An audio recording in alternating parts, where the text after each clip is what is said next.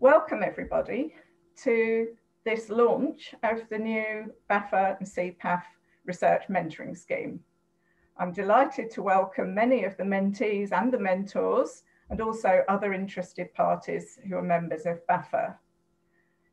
I'm going to introduce Hilary and ask her then to make her presentation. And then at the end, there'll be an opportunity for people to ask questions, either of Hilary about her presentation or questions to myself about the scheme. So we will have a combined Q&A um, at the end of the event. The event itself uh, is probably only, only going to be an hour um, unless the Q&A goes on. Um, so just to let you know that um, we're aiming to finish by midday. And if you want to ask a question, can I ask you if you can either type it into the chat room or put your hand up in the chat room. There's a little um, icon that you can use to put your hand up. Um, or if I could actually see you, if you've got your um, video on, you might even be able to put your hand up in uh, at the screen for me, but I'll, I'll um, see how many people I can see later. Um, it's probably best to use the chat room. Okay, so I'll introduce Hilary. First of all, those of you who were at the BAFA Awards ceremony um, almost two weeks ago um, will have heard me introduce Hilary before, um, but as there's people in attendance today who weren't at that event, uh, I'll make a short introduction. So, Hilary Lindsay has made the transition from being an accountant to being an academic and she has championed the cause of academics within the profession and vice versa. So she won the Distinguished Contribution Award um, for her leadership of ICAEW, the Institute of Chartered Accountants in England and Wales, which she was president in 2016-17. Also, she's introduced an open access website, the ICAEW Academia and Education Community, of which she's the inaugural chair but she's going to speak to us today on her researching accountant development framework, which is one of two frameworks that she developed through her doctorate in education at the Open University, which she gained in 2013. So I'm very pleased to welcome Hilary and ask her to share her screen and her presentation. Thanks very much, Hilary.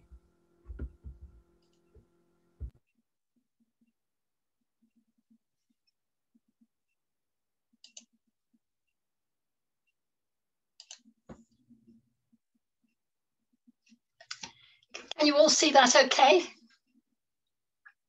Excellent.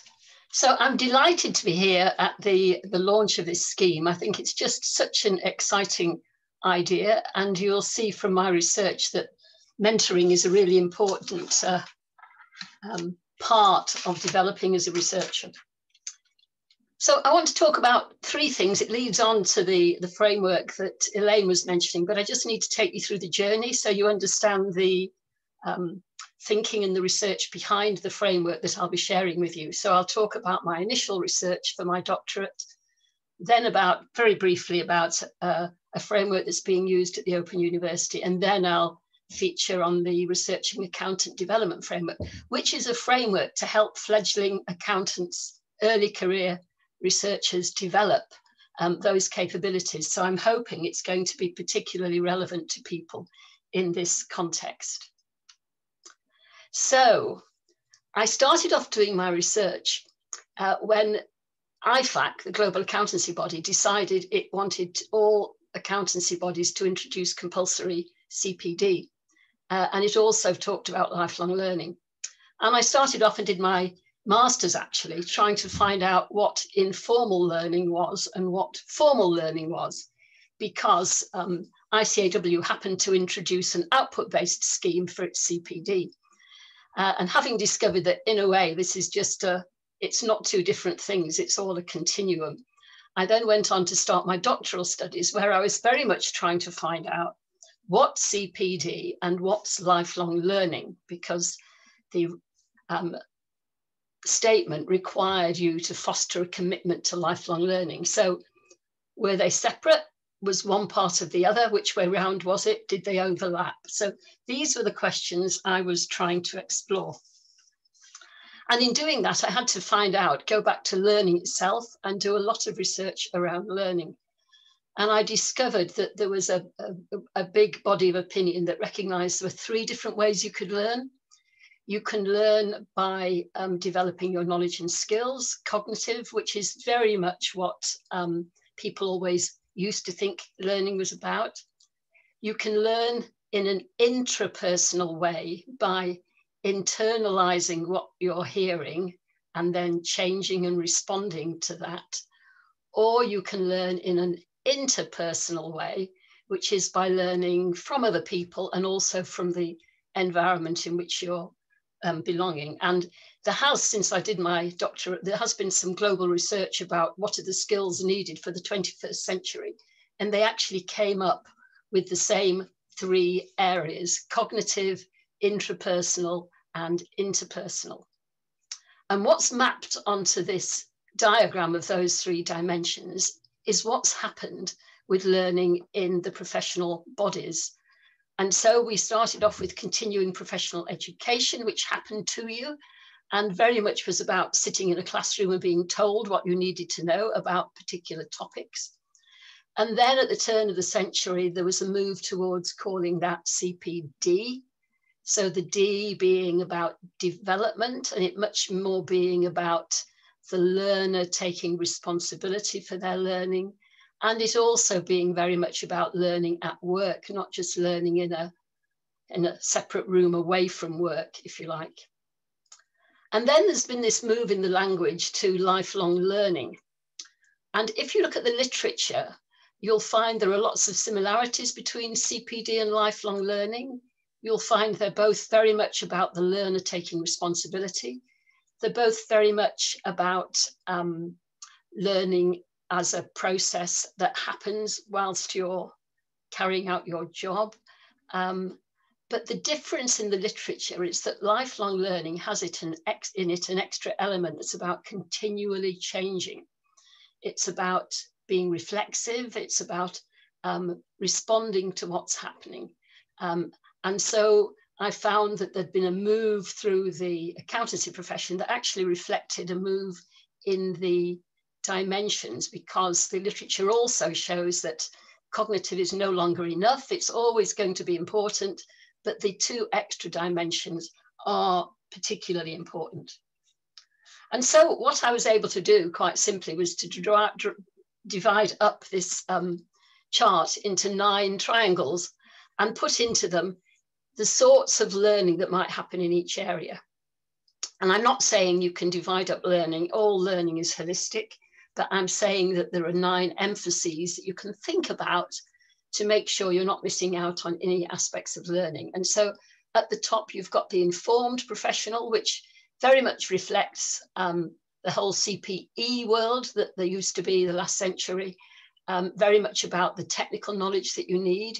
You've got the information, but then can you use it at work? And this is when it brings you down to the next level um, where you're learning on the job, you're learning from other people, which brings in the competent professional. And if you're competent, then the regulators will be happy, your employers will be happy, you're a safe pair of hands to do the job. But for me, there was this bottom layer, the lifelong learning layer, which is very much about you as an individual taking responsibility for what you're doing and making sure um, that you're responding to what's happening so that you're adapting all the time. And so you'll see I'm saying that's the complete professional because you're making sure you're not stuck in a rut, you are responding. Uh, and I've distinguished on the left-hand side of this slide between learning relating to professional competence and learning relating to career adaptability. And career adaptability has got five bits in it, going across from the intrapersonal side. It's got self-belief, it's got having a positive attitude. And then the, the next three are all about because you've got those first two attributes, you're able to experiment, you're able to explore, see what's happening out there, and you're able to engage. Um, and you can also very much um, look at these areas, and the top two, if you like, are very much about your identity And then as you move down the list, you're moving towards the whole concept of agency, about you taking responsibility in your particular context. So this was the framework that I came up with for my doctoral thesis. And, and after that, I was talking to a mentor, my own mentor at the Open University, about my research. And she was saying, well, we sort of reached a conclusion that these were nine spaces for learning. I happened to have done research that had populated them with ICAEW Chartered Accountants' views on learning, but in fact, you've got nine spaces for learning. And um, I did a professional doctorate, a doctorate in education, which is very much about researching into your own professional experience. And so my mentor was intrigued by the brown triangle in the, in the middle, which is about learning at work. And she was saying, could you develop something similar for professional doctorate researchers to help them make that transition um, and, and, and help them develop their skills so they could carry out or achieve their doctorate. So and the other piece that we wanted to do at the Open University was we knew that PhD students had got the whole VITAE um, professional development framework that they could use, but we were wanting to have something that was suitable for people that were involved in this particular type of doctorate. So did research with um, students at the Open University and some graduates, all on the education um, doctorate program um, found out what their views were about their learning experiences during their um, studies, and then from that pulled together a rather different looking framework. So this framework turned into a circle. The Open University doesn't like hierarchies, it doesn't like bright red at the top, so we've ended up with a, a more subtle donut or bagel here. But you've still got the three areas here. You've got working as a researcher, which is very much about developing the knowledge and skills that you need. You've then got developing ways of thinking around the right hand side, which is very much about how you're changing as a person. And then you've got moving on with your research, which is very much about how you can um, then make a difference with um, the research that you have been doing. And this has become a resource on the Open University website. Um, and behind each of these areas, which were just the words that came out of the thematic analysis, so no preconceived ideas here, this was the result of upwards analysis of what people were saying. Um, out of that came, came a resource where you can click on any of these areas. And behind that area, you'll find quite a few quotes from people about that area suggestions, tips, hints, what worked for them. So you've got an example here of a, you can't read it, but in the area of building supportive relationships, you've got um, some quotes about what people said and then points for you to consider. And then the other bit of the resource is that there is then a development plan that you can complete. So this is just a Word document. So you can go through what people are saying and you can you can decide what you might want to be doing as you do your studies in these areas. And um, we had a successful pilot at the Open University. There have been two journal articles published about the development and then the running of the resource. And it's now being used across all the doctoral programs at the Open University. And it's been integrated actually into the studies so that when um, doctoral researchers send in assignments, um, which is the way the professional doctorate program works, alongside that, they need to have been thinking about the framework and making sure that they're thinking not just about their knowledge and skills, but about how they're changing as they do their research and what they may be able to do about sharing their research either now or in the future. And the link at the bottom of this page, and Elaine's got the slides, so she can certainly share them afterwards, is a link to OpenLearn, which is an open resource um, of open university material that, that anybody can access. You can go onto that link and you can see this particular framework.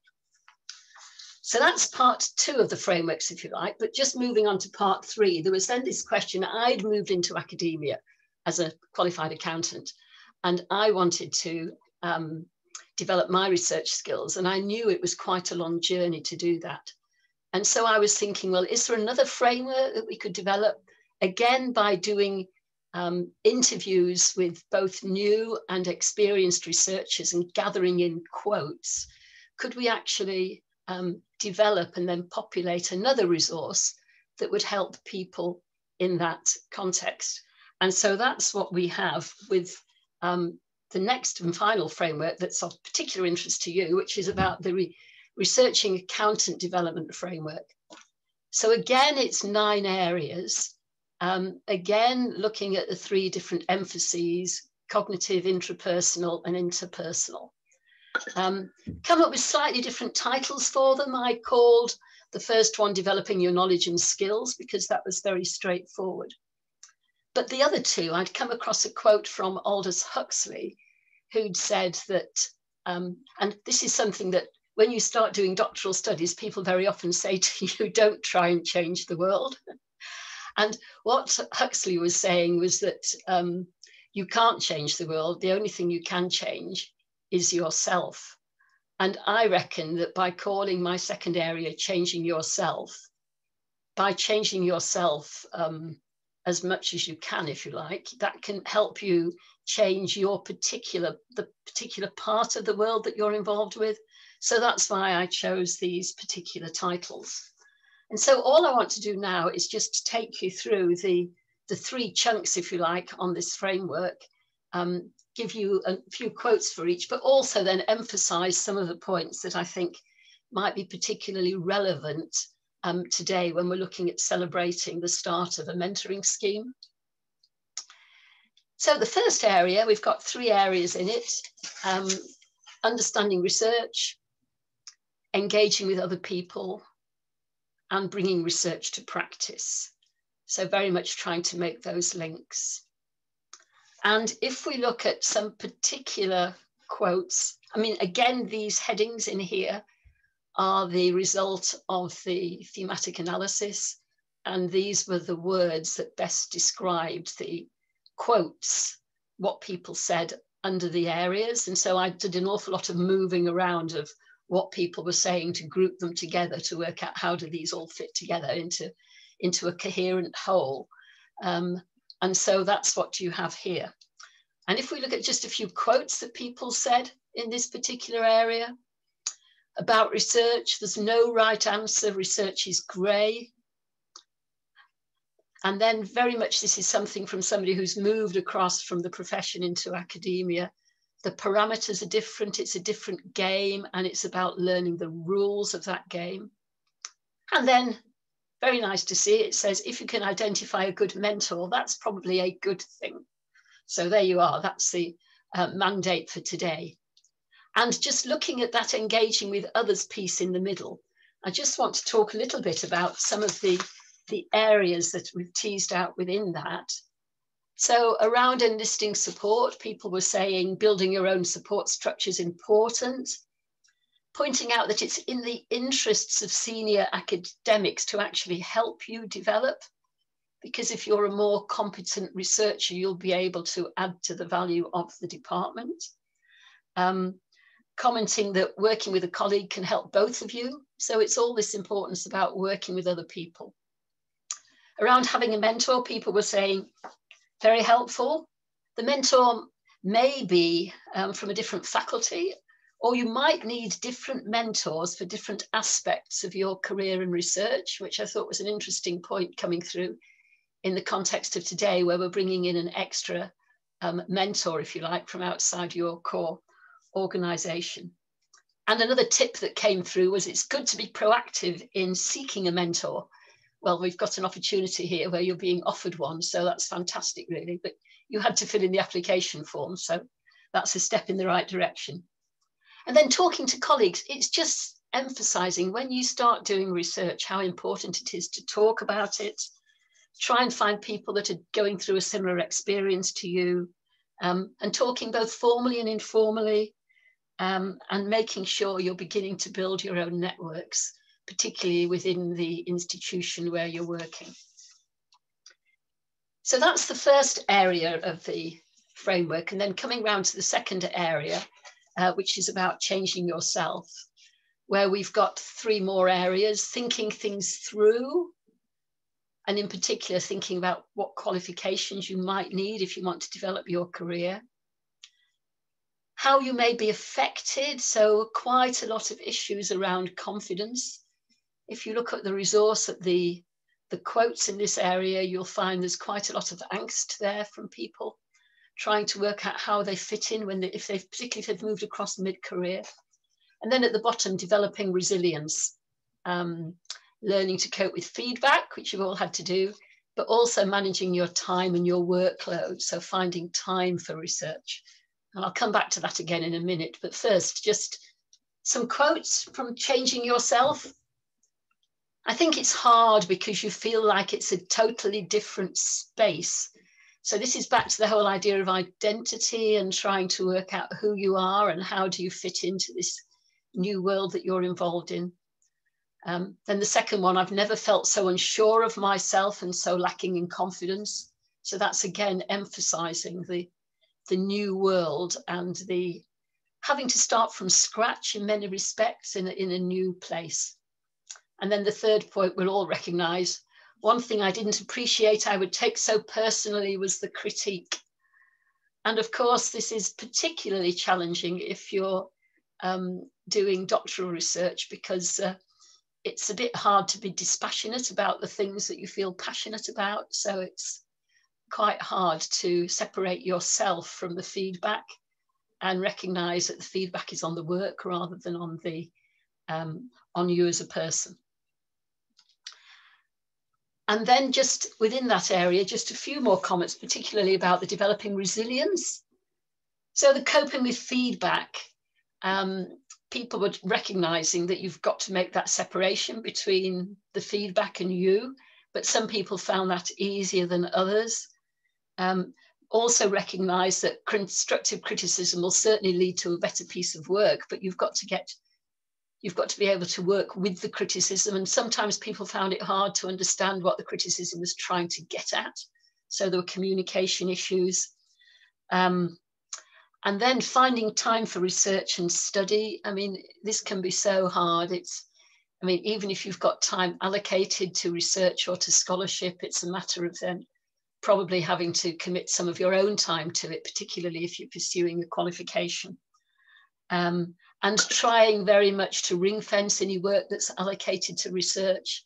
But the trouble is we're all dedicated teachers and we don't want to neglect our students.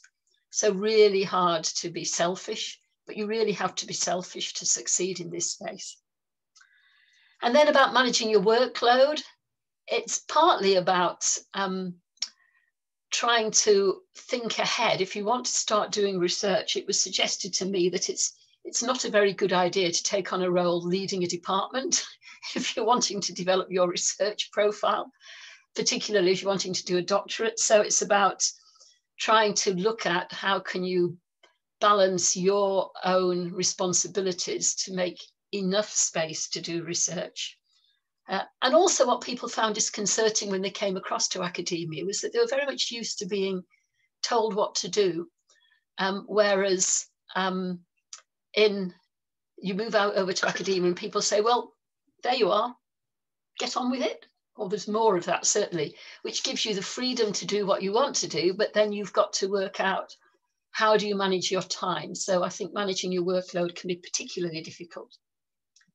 And then just the third area um, on changing your world, we've got this moving across the bottom part of the framework to being interpersonal. So about being proactive, about developing your networks, about making a difference. Um, so some quotes here emphasizing the importance of conferences and networking, not just speaking, um, recognizing that conferences can be terrifying. Most terrifying things I ever did. This is a professor in accounting saying this. And then the excitement of finding out something new in the third quote. And then just having another little look at developing your networks, as that's the area that's most akin to, to mentoring talking about attending conferences and recognizing that at first you might just attend, but it might be that a colleague is presenting and you could perhaps help take questions on their paper. So you gradually try and give yourself a bit more profile. Um, recognizing that if other people are researching in a similar area, they'll be very keen to talk to you. And you don't always find that everybody's very keen to talk to you about your research. So you um, sometimes want to, um, uh, well, it's good to find people that, that are. And then the whole question about publishing your research, about finding the right journal, what could be the topic, how do you turn a thesis into articles? These are all really difficult topics, but there are some good quotes on there with suggestions for help. And recognizing that the journal article, publishing an article will take time, and recognizing that everybody, whatever their title, whether it's professor or whatever, will have had articles rejected at some point in time. I think once you realize that, this helps an awful lot. So those are just a few quotes. But then where can you find this, uh, this resource? It's on the ICAEW website. And there's a link there, but also if you Google academia and education community, you should be able to find it. You can join the community. It's once you've joined the community, which is free of charge, then you can access the, the, the resource that's on there. So this is what it looks like on the website. It's a bit more pretty than my version. Um, and then what you'll find on the website, you've got nine areas. So each of these areas you can then click on, you see it says read more before, below the area. And that's where you get to all the quotes that people have been saying. But also in doing that, you can then think about particular points. And this is something that you don't have to do all of it all at once. This is something you can dip into whenever you want to. Um, but with all these things, whenever you're doing learning, you're trying to do learning in order to make a difference. And so what you can also do is download a document here from the website. Um, so you can make your own notes and hints about things that you think you might want to do in that particular area. So there is a resource there that's been developed from talking to qualified accountants who've moved across into academia about how to develop their research capabilities. So I'm hoping that all of you on the mentoring program will find this a useful resource that you can dip into and use along the way. A couple of pages of references, um, just to show that I've uh, been able to encourage other people to publish the work that I've been doing and that I feel confident in sharing it with you. Um, bit more information there, website there from me if you want to get in touch. And then I would be delighted to take any questions or comments. But as Elaine said, we want to talk about the mentoring scheme, not just about this particular framework. So I'll stop researching at this, uh, stop sharing at this point. Thank you very much, Hilary. Um, I could invite people to unmute and give a round of applause at this point. Thank you very much.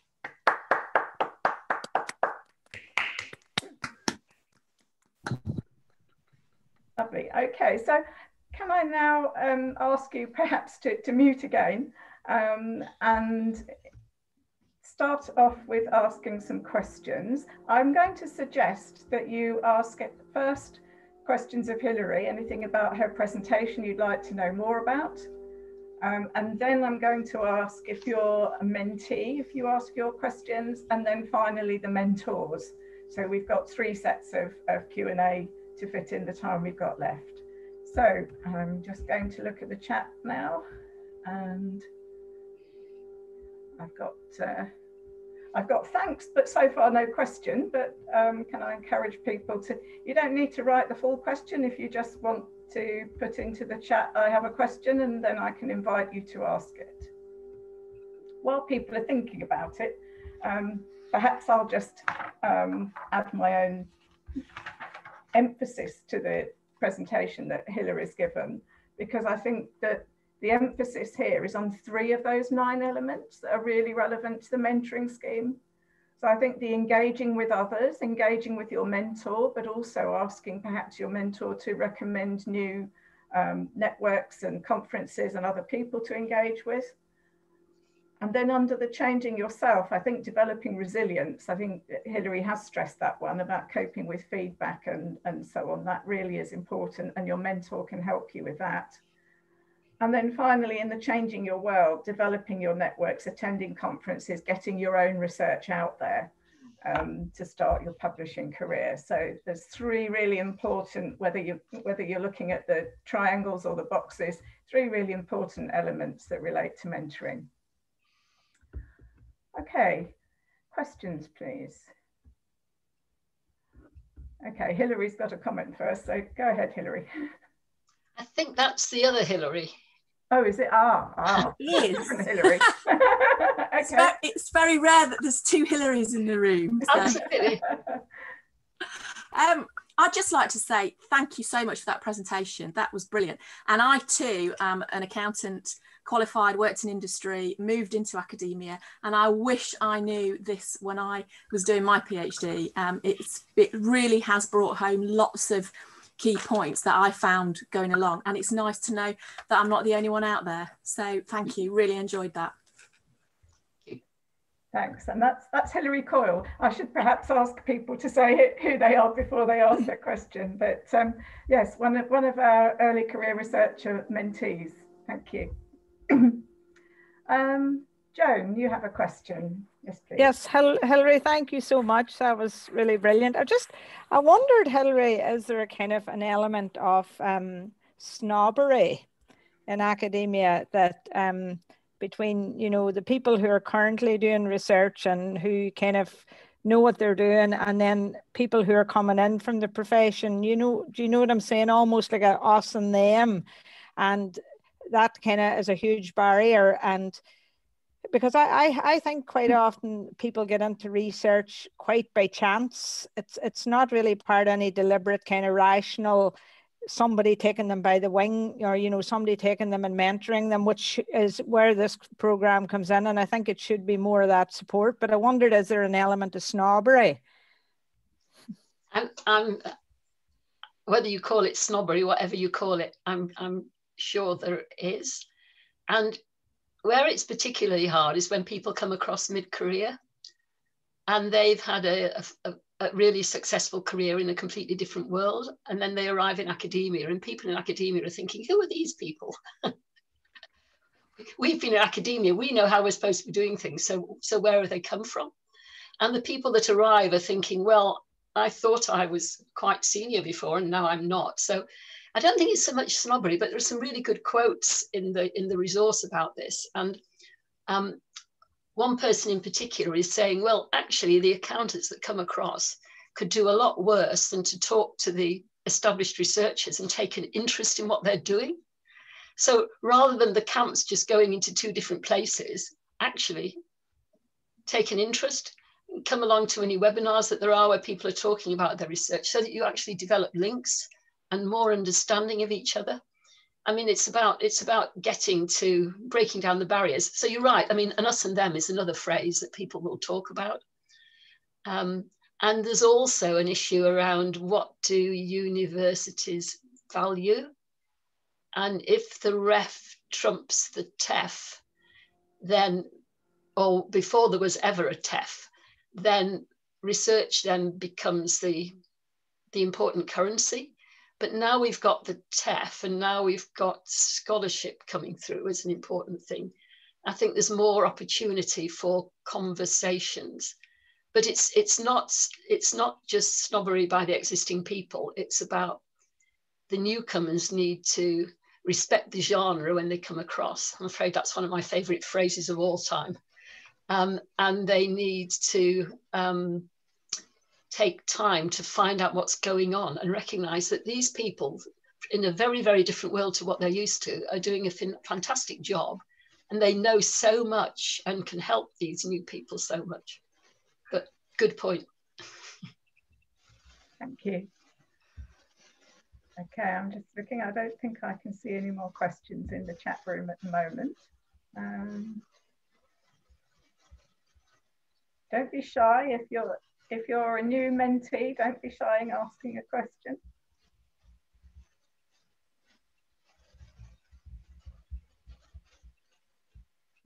Okay.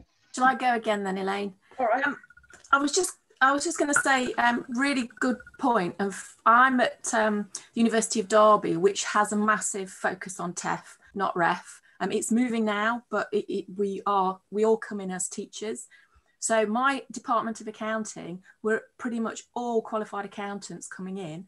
And I was the first one to get a PhD. I was supervised by marketing um, reader, reader in marketing. And so who do I go to talk to about accounting research? So that, that's why this mentoring program is fabulous because it's completely opened my eyes to a new set of possibilities. Um, so for me, this is really, really important. So thank you. Good. Good. Thanks, Hilary. And I'm, I'm delighted to say that through this scheme, um, that Hilary's actually got an excellent mentor in Laurence Ferry. So um, I hope that goes really well for you. He's absolutely yeah. fabulous. We've already had our first meeting and he's brilliant. So really Great. good. Thank you so I much. I don't think he's with us today, so I can't actually thank him, but um, okay. Um, Joan, you've got a question. Yeah, I was just going to say, Hilary, um, the second Hilary there. Uh, there are Hilary, there are a number of the account, this the special interest groups from BAFA. You know, there there's there's actually if, if there's a huge community of researchers out there, absolutely huge. Different groups you can join. I'm involved in the accounting education and the CDAF group, and you know there, there's lots of support, Hilary. Uh, you know, just nice people wanting to help everybody. You know what I'm, that kind of thing, Hilary. So I think there uh, there are avenues out there, and it's a matter of maybe asking. I think it goes back to what Hilary's saying.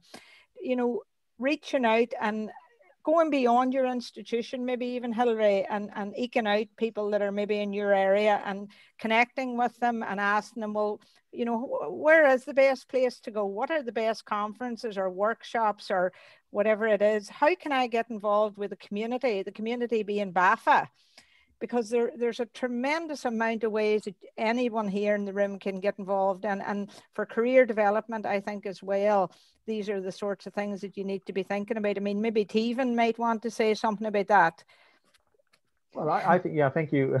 thank you, John. No, it, it, I was I was reflecting on my own kind of uh, listening to Hilary, uh, second Hilary, uh, about about the um, uh, you know the, the starting point and, and and the fact that you know I also struggle you know kind of having a very narrow, perhaps sometimes looking at the research in a very kind of you know too close to it. And and in fact it's it's through meeting um, uh, others and, and, and talking more generally and networking with others that suddenly that either either we find a broader set of ideas uh, to approach it. So and, and also, I think one interesting point I wanted to say is that often uh, you mentioned uh, Hilary, uh, first Hilary mentioned uh, uh, uh, the, sort of switch from, from practitioner to, you know, to researcher. but the other interesting thing, considering that some of us here are from different countries, is also an academic or practitioner from a different country or moving to a UK setting. So, you know, researchers and researchers also do not have necessarily same expectations or same same ideas about how uh, to work together, how to to, you know, to, to consider publications. So so I think that's why again I think uh, as as John has already made the, the kind of point about BAFA, you know, the sense of trying to find a, a, common ground for people to understand okay what what sort of, of expectations do we have. So uh, the, the similar issues I think practitioner to researcher I think you could also see from from researchers from because I think we can see researchers from different countries, Europe, uh, uh, Asia and whatever, who may who may also uh, I think benefit a lot from from this idea of networking and and and and, and the, points you. Thanks, Tevan. And, and while you're while you're there with us as well, I just want to say a thank you to Tevan that not only has he supported this new scheme as president of BAFA, but also as a volunteer mentor himself. So I'm very grateful to you for supporting the scheme in more than one way. Um, I'd also like to echo what, what Joan has said and what you've reinforced there, that BAFA has itself the special interest groups and um, lots of people who can help.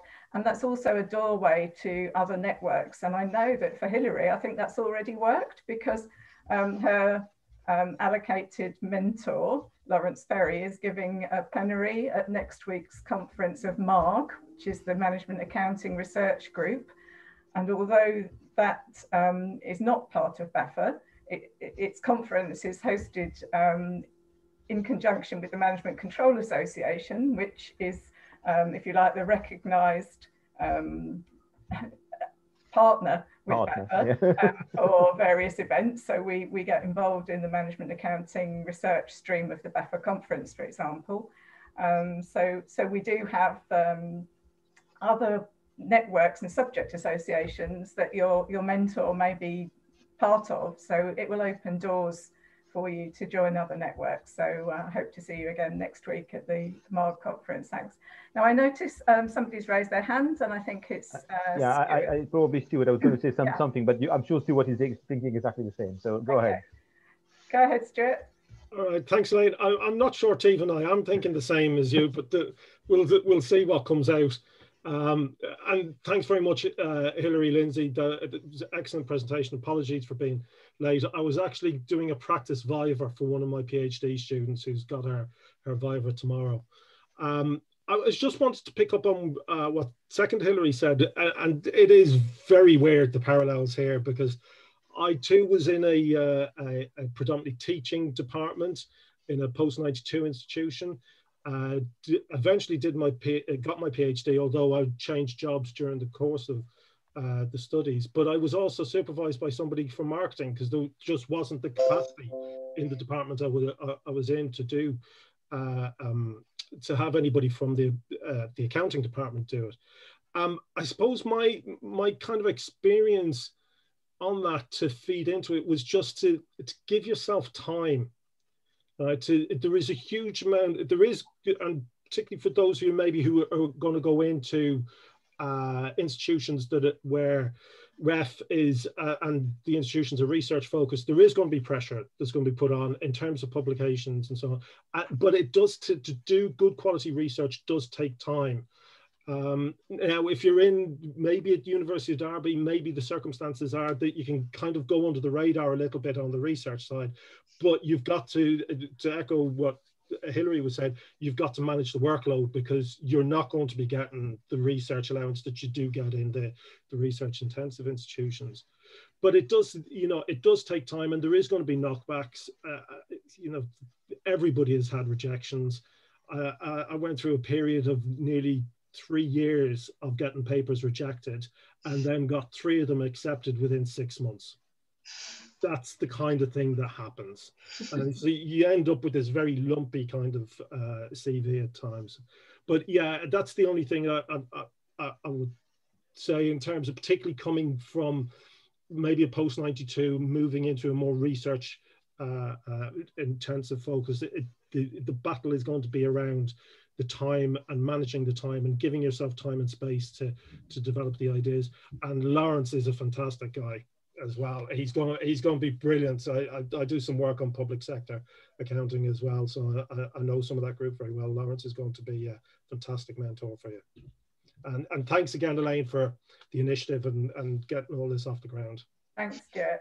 That actually reminds me of, of one of my own mentors um, not an official mentor because we didn't have an official mentoring scheme, but, um, but I was mentored in terms of management control by David Otley. And I can remember looking up to him for all the many publications he's had and then hearing him present something at a management control workshop where he'd had the paper rejected and wasn't sure where to send it next. And I thought, well, if it happens to him, then yes, it can happen to anybody. Um, but sharing stories about those experiences and, and how to pick yourself up and, how to um, either target another journal or if you're lucky enough to have a, a revise and resubmit, how to uh, approach that is very much part of what we hope the mentoring scheme will deliver. Thank you. Do we have any more questions either for Hilary or myself or even for Stephen on the, the BAFA scheme? Yeah, if you was was maybe anyone was thinking, just just to also add my thanks to Elaine. I think the energy you've put into it is is is, is remarkable. Uh, the the amount of time it was very quick, and you know, uh, and it's it's good to to see this. And and there's a second batch. You know, there's there's, there's a second. Uh, Absolutely, yes. There's a series yes. two. There's a season have, two. So we have people waiting to join cohort two already. Um, yeah and I have noted who's here today, and one or two people who are in the Zoom room today um, who are obviously interested but haven't yet um, uh, been asked to mentor anybody. I, I shall um, keep your name on my little list, as they say, for the next cohort. Um, Perhaps my second quick point was just to say, I mean, the reason I was trying to think is, is also from this process, also if we know what else can we do, I mean, in a sense of what's, you know, mentoring one-on-one, I think is, is really the top, you know, it's really good support and, and perfect.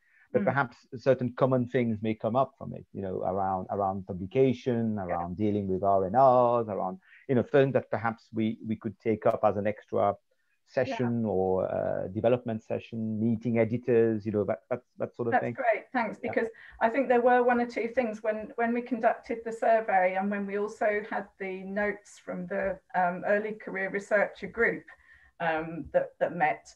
Um, there were one or two things where we felt that possibly a workshop or a session at the conference might actually be something that would also be useful. So um, either mentees, if you um, identify a need that you don't think is being covered by the mentoring scheme, that, um, or something that you think um, that you're not the only one who would appreciate, yes, you can send my, your ideas either to myself or to Tevan um, for ideas for workshops that BAFA might be able to um, put on in the future or elements for the conference. So yes, all the feedback is, is gratefully received. And we are going to do some formal feedback. We'd like to do some feedback, um, a, a short evaluation at the end of this first year. So we will be asking both mentees and mentors for their um, their feedback on the experience um, towards the end of the first year. Um, so, so yes, there will be another another survey and another opportunity to participate. But just looking at the the um, what, the kind words that Stephen said um, for me about getting something done, um, it reflects my own background. Because when I did my professional doctorate, I used action research. It's really hard to get it published, but action research is because you want to make an impact while you're doing it. You don't want to wait until after you've published it and after you've presented it. okay, anybody else got any other um, questions at all? Uh, yes, Jim. Oh, you, Oh, action research, yes.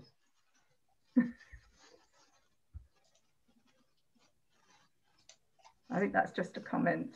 Uh, contact the person too. Great. Okay, so thanks. Thanks to uh, Professor Steely for participating in the scheme. I can't see any more questions in the chat room. I'm just going to check, open the different list, just open the participant list and see if anybody's got their hand up. Uh,